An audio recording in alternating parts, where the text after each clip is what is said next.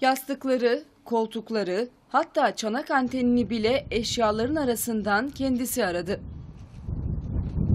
Muğla'nın Bodrum ilçesinde yaşayan eski manken Bilun Dohmen'in evi soyuldu.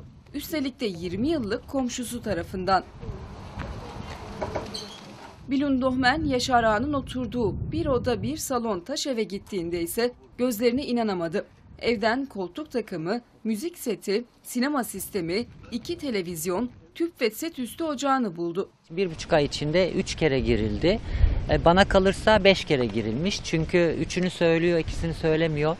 E, ve gördüğünüz gibi bir de bunları e, ellerimle taşıdım diyor. Bunlar hepsi taşınacak şeyler değil.